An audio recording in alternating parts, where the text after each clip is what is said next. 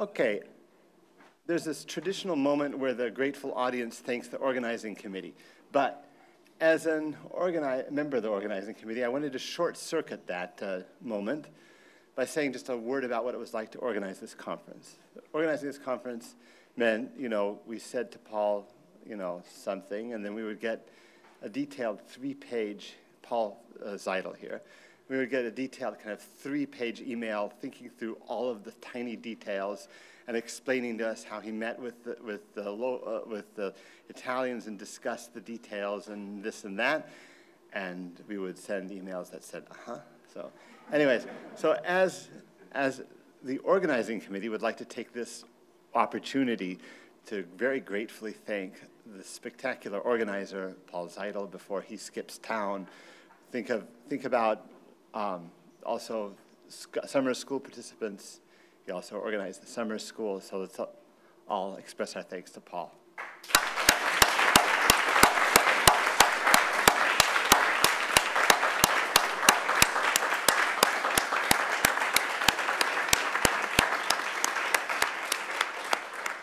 And I will now turn this over to a different Paolo.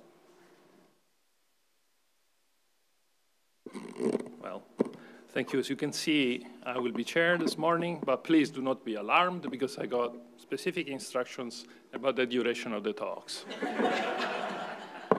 and now I, will, I would like to introduce our first speaker of the morning, Dave Gabai, who will talk about knotted three balls in S4 and knotted three spheres in S1 cross S3. Thank you, Paolo. Uh, well, it's, it's really great to be here at this, this meeting in person in, in, in honor of, of Tom. And I should say that I had had the pleasure of, of, of knowing Tom during a period where, uh, before he was famous, by which I mean, I mean, I, I knew, knew Tom at a time when amongst experts, I mean, experts knew that he was already doing great work, but, but his fame hadn't sort of spread to the, to the sort of broader mathematical community. So I'd like to just tell, just briefly, just two sort of an anecdotes from, from that period. And it's, it's been a long time ago, so if the, the events didn't transpire exactly as I, as I say, well, they should have. and so, so you know, years ago, uh, I, I, was, I was at Caltech on, on the faculty, and, and Tom was, was, was there you know, for, in some type of postdoctoral position. And, uh, and, and that, that, that full semester, I, I went to uh, you know, a couple different meetings, and you know, someone would come up to me and say, you know, Tom Mrowka is, is, is in your department. He's, he's doing just, just amazing work. You know, you should, should hire him, you know, as, you know, as a senior faculty member. And he said, like, Tom who? And, but then, then, you know, then, then an, another person would say the exact same thing. And, and, and, and this happened like, like three or four different times. So, uh, so at the time at, at Caltech, there was basically two people that were like the driving force setting the direction.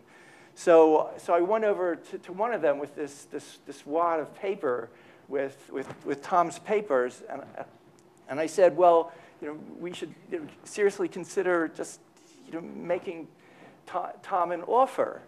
And so, uh, so I handed these, these papers over, and he sort of flips through and, and says, well, uh, these, these are just his, his, his pre preprints. Where, where's his published papers? And I said, well, there, there really aren't any. And then he sort of flips through again and he says, there's, there's only two preprints here. And I said, yes, but, but they're good preprints. And anyway, you know, this, this guy was, I, he had, he's very well connected. I think he was already sort of clued into Tom actually before I was, and he's very supportive through, through the whole thing. And and, and, and, and, and the fact is that you know, the case just sailed through the department and the, you know, the administration. And uh, okay, so let me tell you like another little story, which is I guess around that time, there was some special lecture at, at Caltech. And, well, by, by Caltech standards, there's this, you know, this huge audience packed into this, this lecture hall.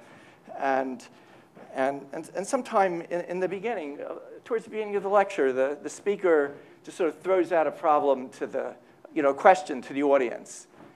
And, and Tom sort of immediately, so just casually just, just, just gives the, you know, the correct answer. And the, the speaker seemed a little bit surprised, but uh, okay. And then, then, then a little time later, you know, the, the speaker asked another question, sort of with a tone of, well, I don't expect anyone to answer to this, but if they try, they'll probably miss the subtle point. You know, which point Tom just, just, you know, just casually just nails the question. And, and this guy was just like, just totally taken aback and, and after a moment says, like, who is this guy? And by that point, Tom already was, was famous at, at Caltech, so, so this cry went up from the audience and said, well, that's Tom Mrowka. And there's sort of like this no sort of recognition from this person, but on the other hand, there are no more questions. so, uh, right. So, okay, so I, I, want to tell you about knotted three balls in S4 and, and, and knotted three spheres in S1 cross S3. So, so this lecture is about codimension one knotting in four manifolds. So the, the big question is, in the four sphere, is, is there like a, a smoothly embedded codimension one knot? Is there a smoothly embedded three sphere in the four sphere, which is uh, not topical, topical, not smoothly standard? Is every smooth, smooth three sphere in the four sphere uh, smoothly standard? Course, that's sort of a problem everyone knows, and uh, uh, well, I'm sorry, I can't say anything about that, but but, but closely related problems are the problem of knotted spheres in S1 cross S3 and knotted balls.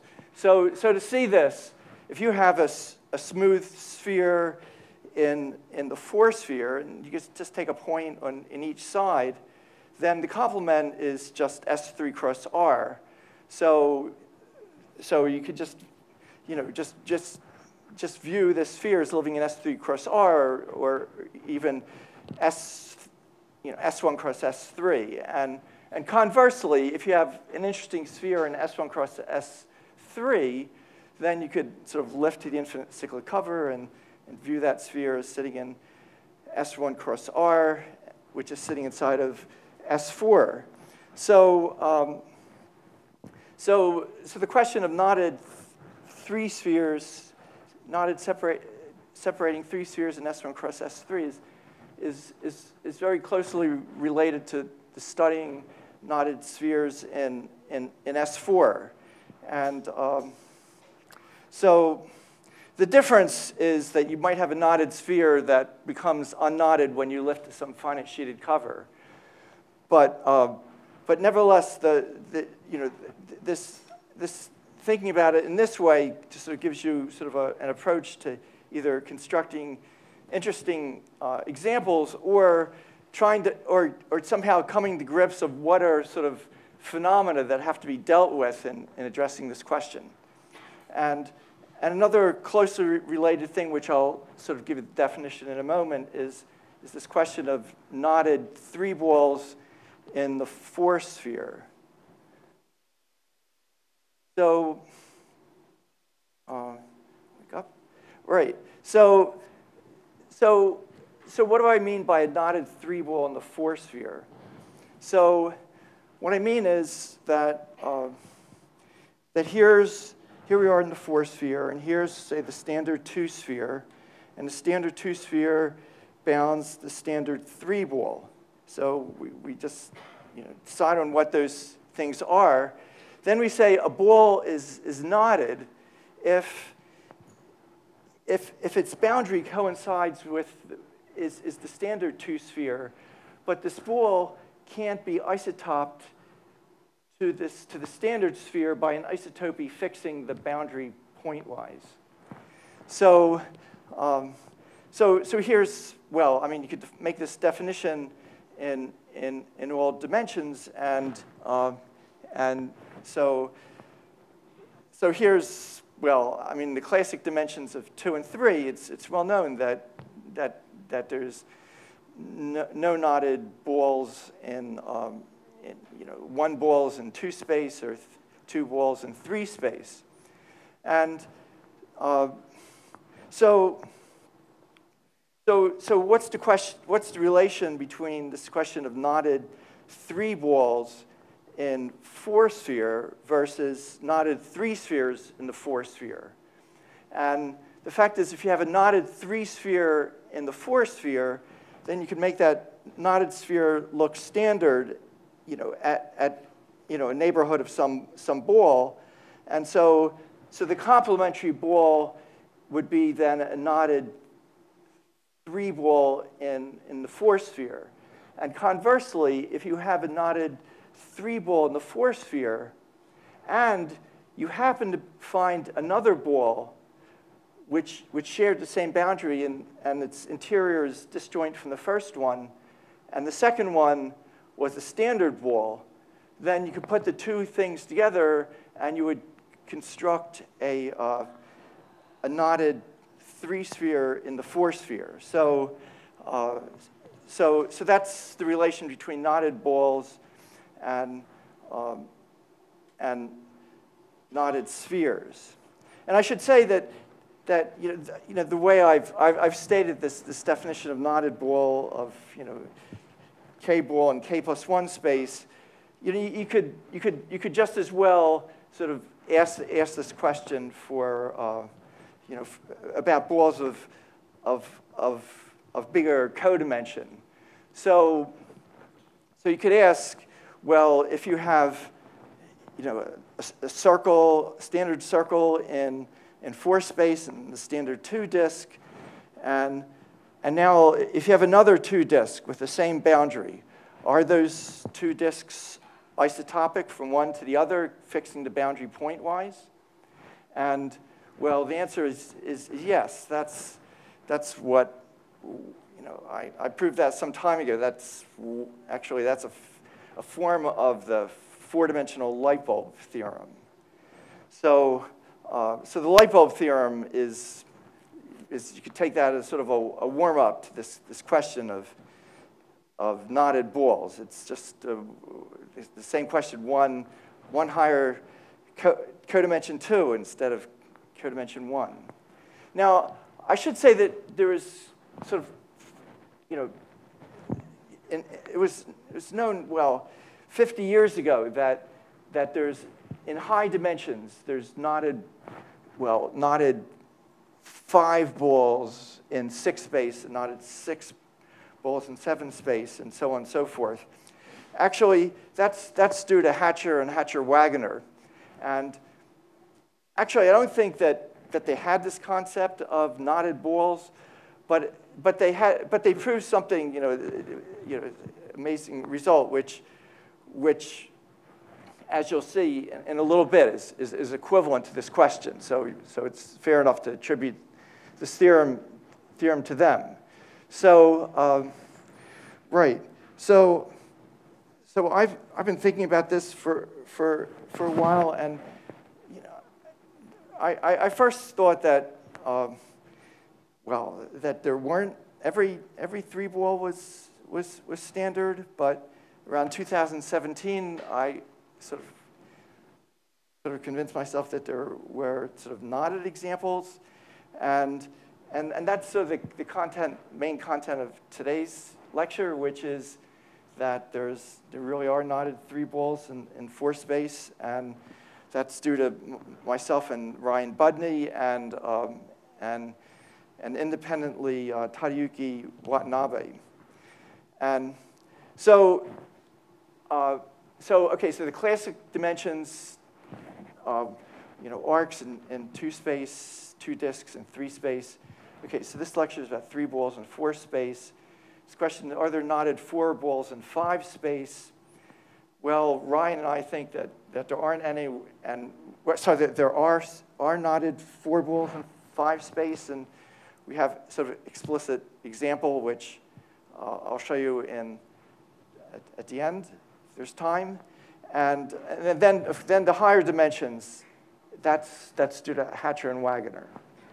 So, um, right. So, okay, so, so this ball, this, this, this lecture is about knotted balls in three balls in four space. So, but the, sort of a counterpoint is this, this basic fundamental theorem of, of Cerf and Palais from over 60 years ago. And this is a theorem that, that Bob Edwards calls differential topology 101. And, and their theorem is that, well, modulo the obvious necessary conditions, two k-dimensional balls in, in some four manifold, any two k-dimensional balls in a four manifold are, are ambiently isotopic. So, I mean, the obvious condition is they, they, they, they have to be in the same sort of component, and if they're codimension, you know, if they're balls of, uh, of uh, codimension one, well,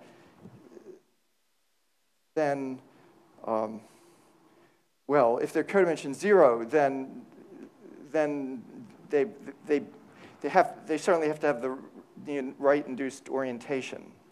So, and, and this is sort of, you know, a, actually a, a, nice exercise in differential topology. And you can see that, that here's, here's sort of the key idea. I mean, you could think of this as sort of telling you, you know, how to do an ambient isotopy of, of, of, a, of a germ, uh, uh of, uh, you know, a, a ball in, um, in n space. I mean, well, here's, here's the formula, and you can see that just there's, there's a, a smooth isotopy of taking this embedding to, to one which is, uh, which is linear, and then you can sort of straight, straighten it up.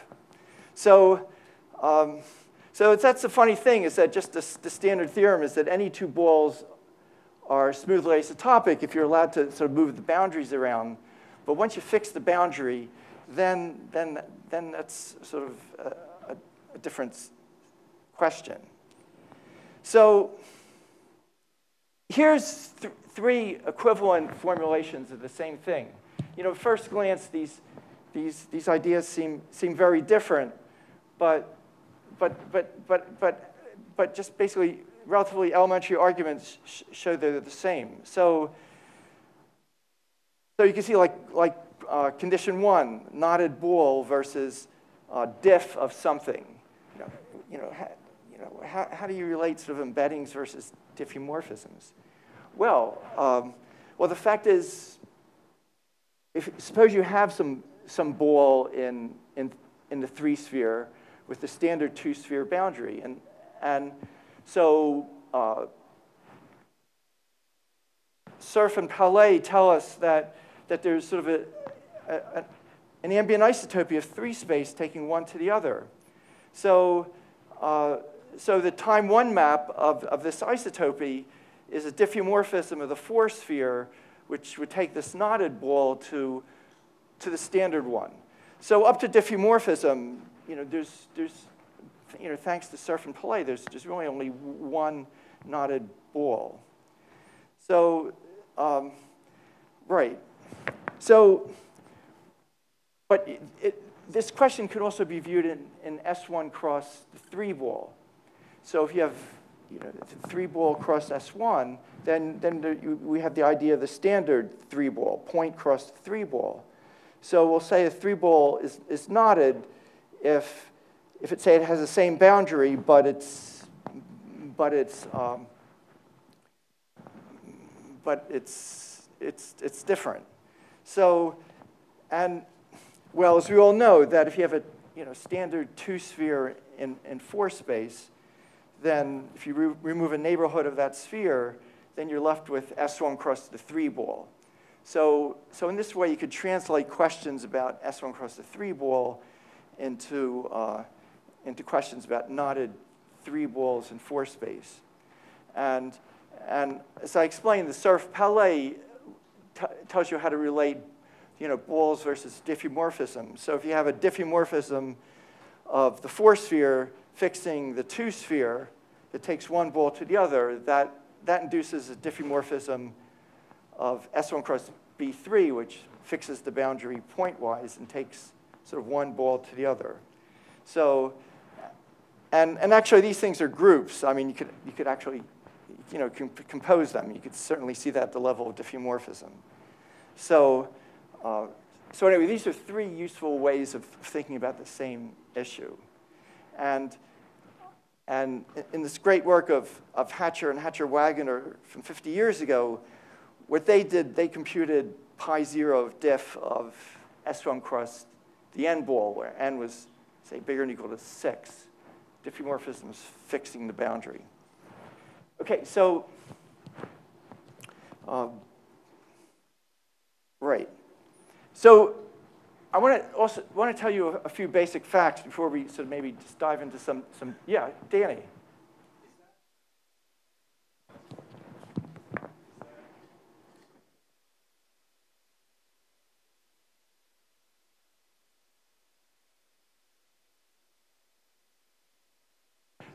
Oh, so the point is of this, this theorem here is 3 is, is, a, is a variable. 3 is an integer. And 4 yeah, yeah. Yeah, yeah, anyway, thank you for saying that. This, you know, this, this is a theorem that's true in all dimensions. So, so 3 could be, 3 is any in, positive integer, and 4 is the next integer after 3. Just, just the way I'm wired, I, I just like to think of things sort of concretely. But um, anyway, thanks, thanks for bringing bring that up. And so, um, so here's actually a very useful uh, fibration. I mean, this idea of fibrations uh, uh, among, you know, relating embeddings and, and uh, diffeomorphisms of various things goes, goes back to, to Cerf around 1960. And a, a very useful fiber bundle is, is, is, this one that I, I have uh, up there. And, and the idea is that if you have a diff, so, so the little zero, diff zero, means diffeomorphisms homotopic to identity. So if you have a diffeomorphism of S1 cross S3, you could, you could ask, well, where does the S1 go to? So that's, that's an embedding of S1 and S1 cross S3. And the little zero means the embedding is, is in the right homotopy class and, and the orientation sort of pointing up. And, and the fiber of that is diffeomorphisms of S1 cross S3, which fix um, fix this, this, standard vertical circle.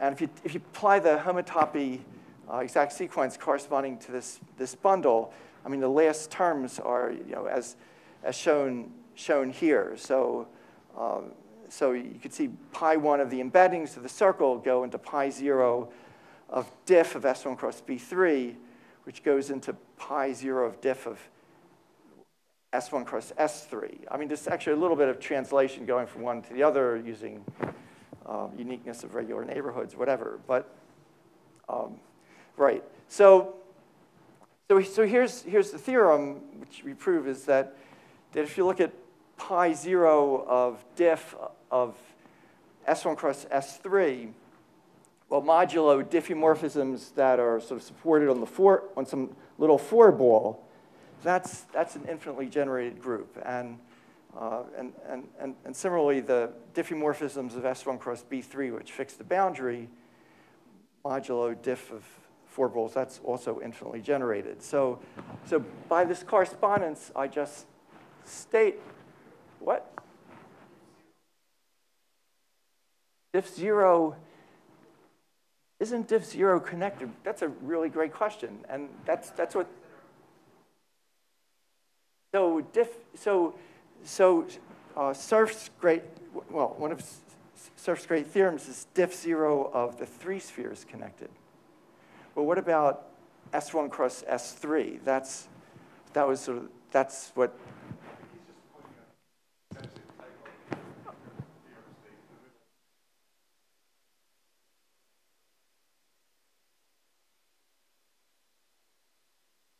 Oh, um, well, so, okay, so So diff of S1 cross B3 fixed the boundary. Left. Pi 1 of embedding 0.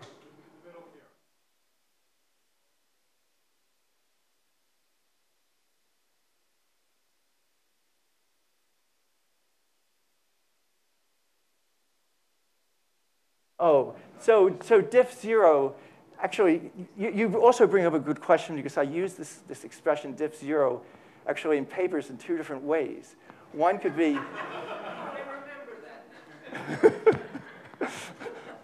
you know, diff 0 can be viewed as diff, you know, the identity component of, of, of, of diff, or it could be diffeomorphisms that are homotopic to the identity so, so thank you for pointing this out. So, so here, diff zero means diffeomorphisms homotopic to identity as opposed to identity component. So, uh, right, so you almost killed the lecture. Thank you. So, um, right, are any, any other questions? Um, right, so, okay, so here's, so, you might, so, so, so our stuff is extremely explicit. And, and here are, are pictures of, of knotted balls. So here, we're, it's, here we're, view, we're viewing, this, viewing these balls in S1 cross the 3 ball. And so, so look at the picture on the left. Actually, the conjecture is this, this ball is, is knotted if you look at an early version of our paper, maybe early two, first two versions, we, we claimed that it was that it was knotted, but it's it's it's there's a mistake in that, and so this it's it's conjecture. And as far as I know, uh, Tadayuki does, you know, it's it's his his technology doesn't doesn't address this. But so so how do you sort of parse this picture? And so so in dimension three, we know this idea of surgery on, on a three manifold, right? You drill out a, a, a solid torus and re-glue. But as four manifold people, we know that this could be done sort of ambiently, that, that attaching, the effect of attaching like a two handle onto a four manifold with boundary, it changes the boundary by, by, by, by surgery. So so we can think of surgery, sometimes we can think of surgery sort of ambiently. And that's, that's what we have here. So, so we have like, like delta zero, that's, that's the standard three ball in S1 cross B3. And sigma is a, a two handle. So we could modify uh, this, this ball by, by attaching a two handle, sigma to, to on, the, on, on, the, on one side, and then we, we could attach a two handle tau on the other side.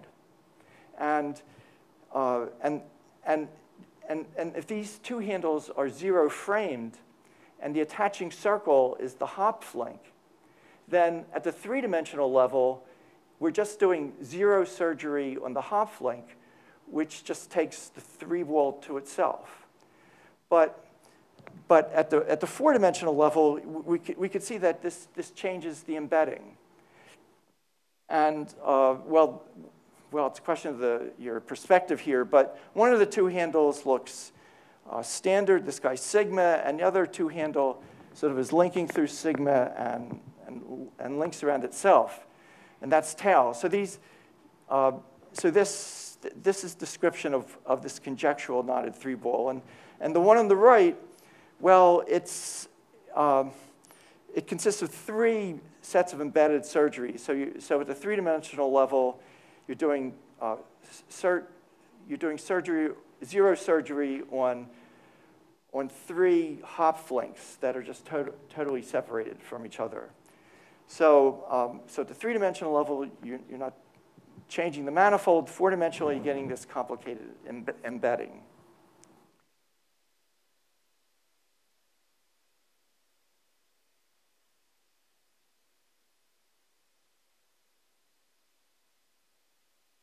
yeah, so, um, so, yeah, so, so if you have a four manifold with boundary, attach a two handle, it changes the boundary. So, so strictly speaking, you know, this delta zero is just a, th a three ball by itself. But think of it locally as like a three ball across the interval.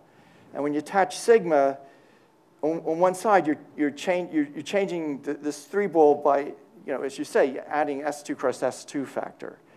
But then once you have that, then look at that three manifold, look at that the resulting three manifold, thicken that up across the interval and attach two handle now to the other side. So, uh, so, so that sort of, at the three-dimensional level, sort of kills the,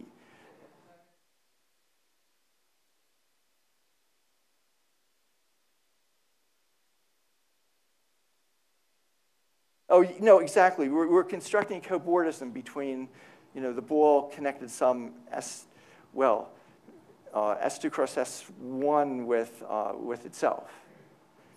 Yeah, thank, thank you. Okay, but one thing I'd like to mention is this picture really shows uh, why I think four-dimensional topology is, smooth four-dimensional topology is really challenging. I mean, you didn't have to come to Italy to, hear from Dave Gabai that two plus two is equal to four. However, uh, that's, but if you ask yourself, well, let's try to understand sort of how to you know, work with embeddings of three-dimensional things sitting in four space. The point of this picture, well, one point of this you should get out of this is that even though this is a three-dimensional thing, it, there's parts of it that really look two-dimensional. And I, I, you know, I've so, so my word for this, these are what I, this is what, this sigma is what I would call an Annalini disk. So, so Annalini, that's, it's, it's, it's, these are like, tiny, I might be saying the word wrong. Sorry if you're Italian and I'm Italian. But, but an Annalini is a, is, a, is a pasta, which is a tiny round circle. So, so now we have like sigma, that's a, a, a two disk. But, but at the, at what's really look, but when you, at the three-dimensional level, what you see is really uh, like the unit normal bundle of, of, of, of, sigma. That's really know, D2 cross S1. So when you're attaching this handle, you're, you're replacing the solid torus with this D2 cross S1. But, but, the, but, it, but it looks, you know, visually just, just, just two dimensions. And, and, and the same thing, this, this tail looks, looks two-dimensional. So, so, so the point is this, this, this, this three-dimensional embedding to our eyes looks, you know, parts of it looks very two-dimensional. It's, it's like the same, you know, one dimension lower if you have, you know, a, a, surface. And you can think of, you know, this nice surface, or you can think of like two pieces of surface, you know, connected by an extremely thin tube. And so, so, so the surface really is two-dimensional, but there's one spot where it looks, looks one-dimensional. So, so the reason why this, this interesting is, is because in codimension one, in three manifolds, you have surface in a three manifold, something like mean curvature flow, or some two-dimensional, you know, some you know, topological analog of that, extremely powerful for you know, straightening out surfaces. But if you, if you did like mean curvature flow to, to, to this, this thing, well, these tiny little circles immediately would sort of just you know, become singularities. And so this, this, these circles are just, just, just contract out. And, and okay, but if now you did some type of, you know, you know mean curvature flow, but somehow you, you, you just constrain it by just putting in some filling. And, uh, but, but still, these, these are, you know, at the level of the surface, this tail just wants to rip through the sigma. So, so, so this was to sort of you know, illustrate this idea that, that, that if you're going to you know, con, con, you know, control codimension one embeddings, then, then there has to be some type of global understanding because you know, local, local moves are, are going to be pro problematic. So, um, right. So, okay, so I've got 10 minutes, 11 minutes to um, well, to just explain. Okay, so this, that, that was the introduction to this lecture.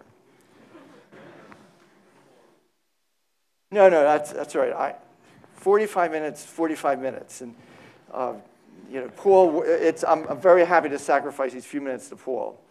But, but the question is, how do you, uh, okay, so, but, but the idea is, you know, just a huge number of detail, but the idea is sort of like really, really simple, which is, you know, how do you construct sort of candidates for interesting balls?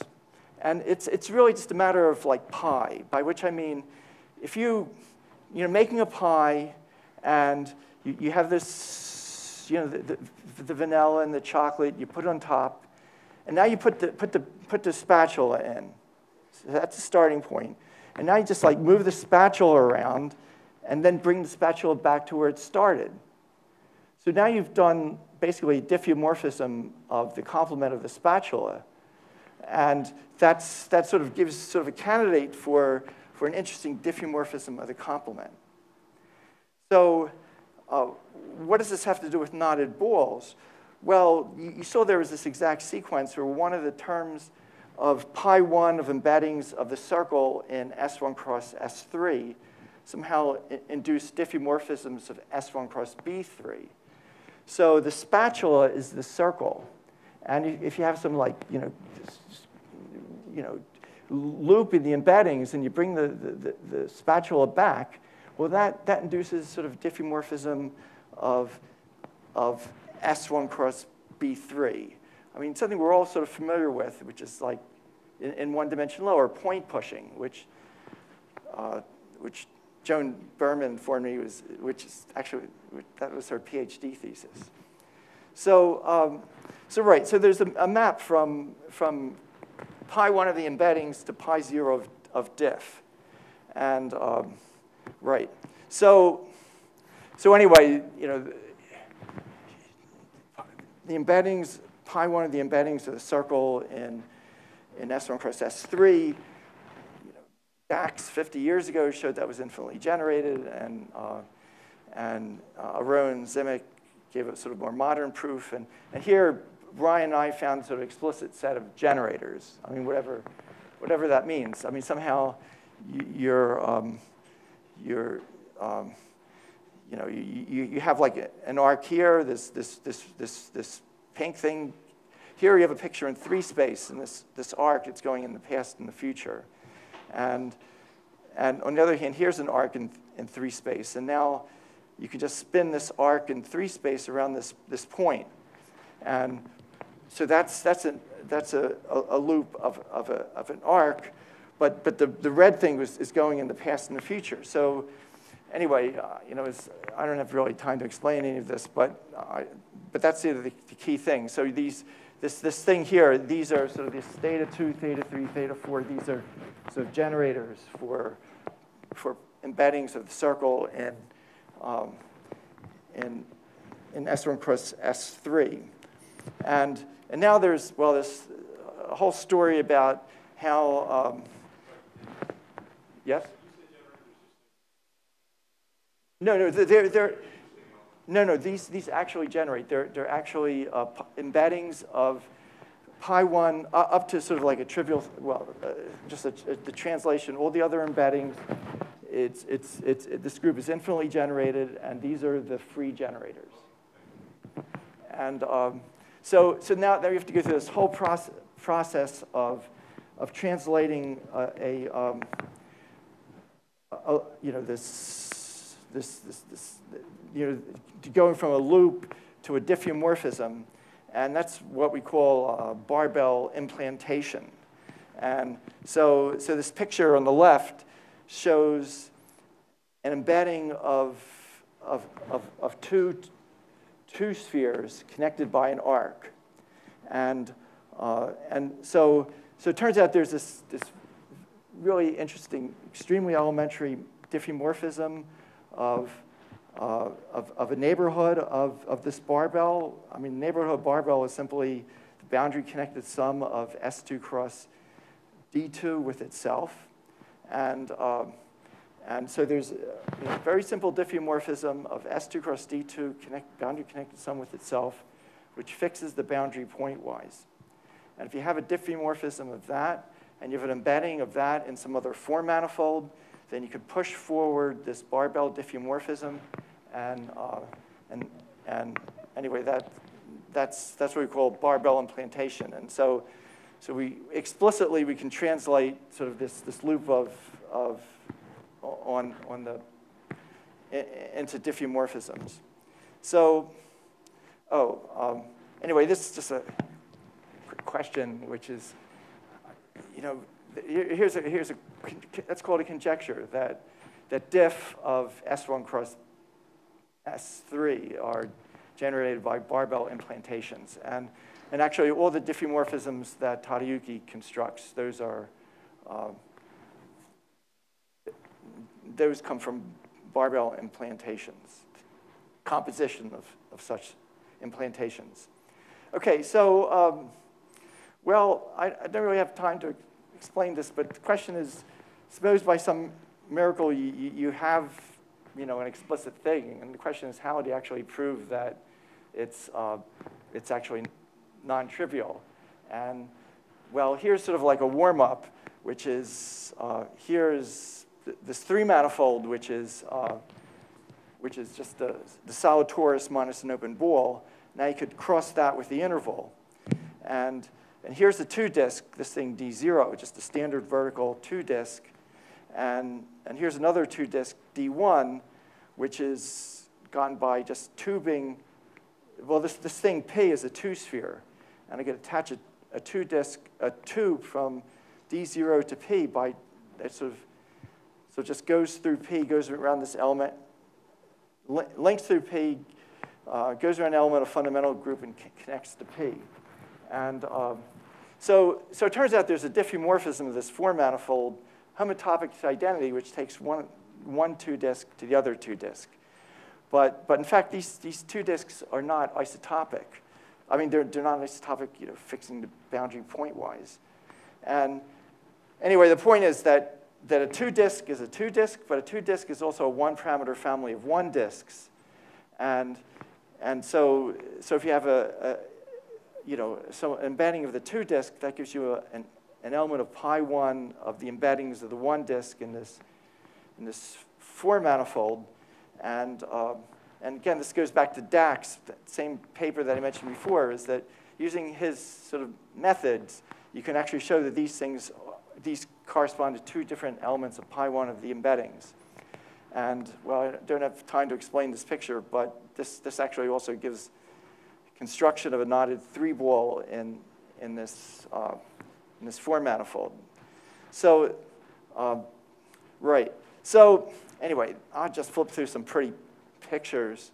But, uh, but, what, what, but we, what, what we do is, is now, now if you have a three ball in say S1 cross B3, a three ball is a two, you, think, you can think of that as a two parameter family of, of intervals. And, um, and so, so an embedding of the three ball is an element of pi 2 of the space of embeddings of the interval into, into S1 cross B3. And so, uh, so, so anyway, so the, the point is we, we have to develop this, all this, this geometric theory that we can actually, to actually like work with these things. And, and we found these generators called GPQ. And, and it, was, it was just a you know, tremendously long, well, to me, to us, really long calculation. And the end, we showed that, um, well, uh, somehow that, well, we just got, you know, all these, all these elements of pi 2 are trivial. So, um, right. So, so, that was a bummer. Uh, and okay, so, so, so like, well, uh, what, what, what do we do then?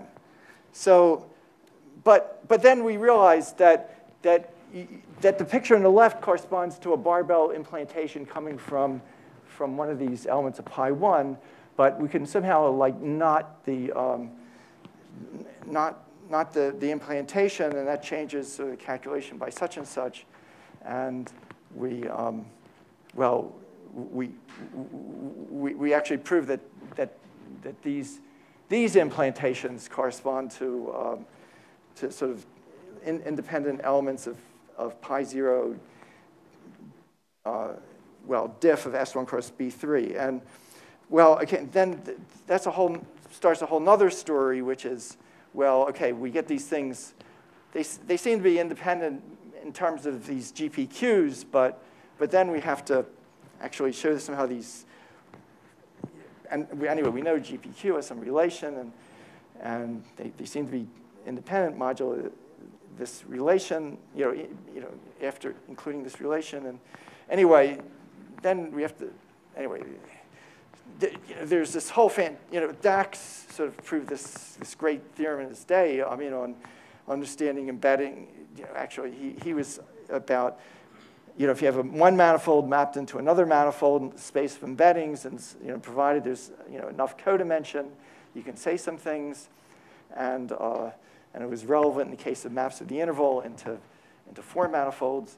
But, but you know, there's this whole fantastic branch of mathematics, you know, understand, you know, developing theory of, of embedding spaces and, you know, you know Tom Goodwillie and, uh, and, and um, Uh, John Klein and Michael Weiss, I mean, developed this fantastic theory, and, and then, you know, Dev Sinha sort of uh, expressed in a certain way. Anyway, using, using this whole stuff, we could show these things are non-trivial. And so, so anyway, so that, so, so, so these, these things are, these, so, so, so, so anyway, you know, using their theory, we could show these, these represent non-trivial elements of pi 2 embeddings of the interval in S1 cross B3.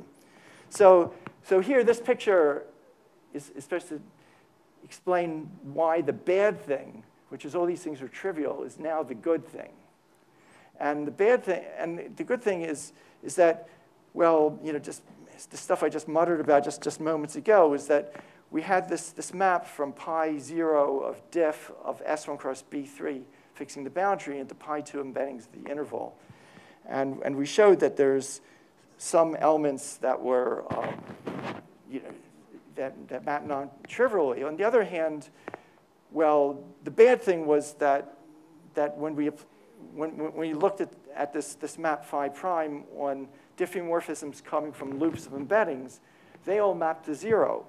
So, um, so we know from you know, basic algebra, that means that, uh, well, I mean, you know, from the exact sequence, you know, that, that means that we get an induced map from pi zero of diff 0 S1 cross S3 into pi 2 of the embeddings. And so, so our, our elements that we, we construct are, we, you know, we actually can view them as non-trivial elements of pi 0 diff S1 cross S3. Whoops, two minutes over time.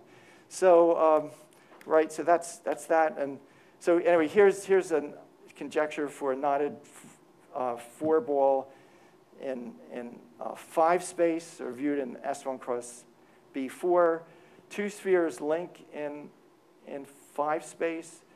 And so we can, um, two spheres link. And so, so this is now, uh, you think of this as sort of a, a anyway, the, the, these, these barbell maps, there's, there's higher dimensional versions of them. And um, so, right. So anyway, the conjecture this, this barbell map of this, this thing gives a non-trivial diff of S1 cross B4. And anyway, I'm out of, out of time, but I'll just show you the slide anyway. And, um, and this is another example of a bad thing becoming maybe the good thing. The bad thing here was that, well, all, all these barbell all, all these barbell maps become isotopically standard well, the least ones the, the, that we constructed all become isotopically, well, anyone. They all become isotopically standard modulo diff B4 when you lift a high enough covering space. So from the point of view of, of, of constructing knotted three ball, three spheres in four space, well, uh, they, these, these things, you're not going to get examples this way.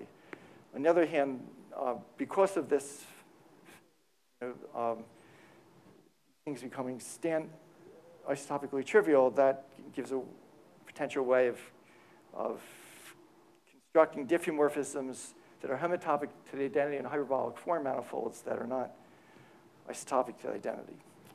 So sorry to go four minutes over time, but anyway, thank you for your attention.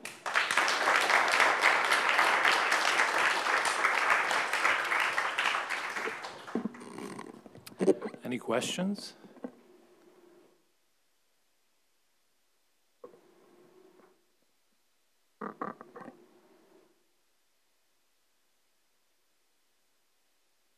Any?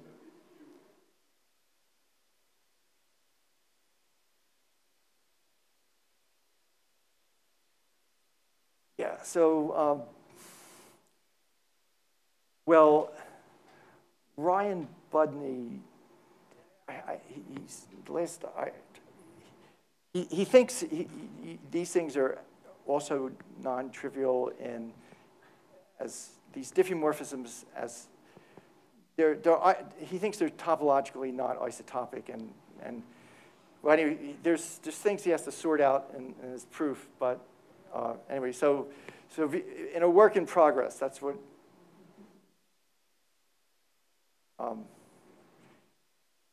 that's, that's what, he, what he's trying to do, and I think it's, it's probably pretty likely. I mean, it's probably pretty likely true, whether, whether he gets it to function, that's another matter.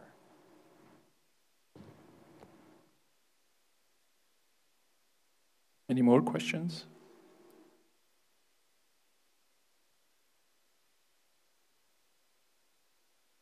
All right, if not, let's thank the speaker again.